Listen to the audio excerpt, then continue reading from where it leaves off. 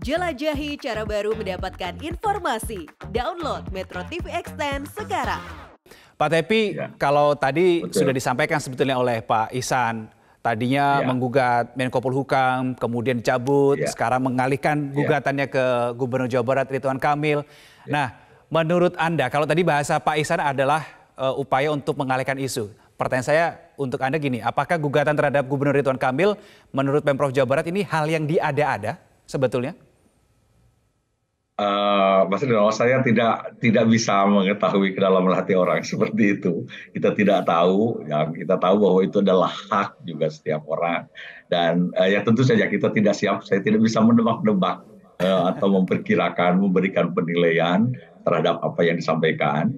Hanya memang menjadi pertanyaan kami adalah dan ini yang segera ingin juga kita ketahui. Sesungguhnya apa sebetulnya yang ingin didapatkan, yang ingin digugatkannya?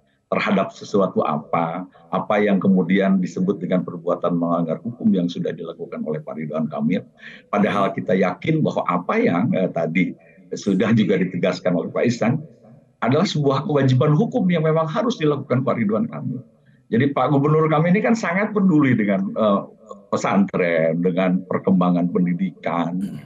Beliau sangat berada di situ sehingga tidak perlu waktu lama kemudian untuk memastikan melakukan mengambil langkah berbuat sesuatu dalam hal bagaimana agar dalam konteks ketentraman ketertibannya dalam konteks pelaksanaan penyelenggaraan pendidikannya tetap bisa berlangsung dengan baik sehingga sesungguhnya itu Pak Rino mohon maaf saya tidak bisa membayangkan Oke, baik. bahkan mengira begitu Oke, untuk baik, tidak apa-apa, yang Pak Tepi.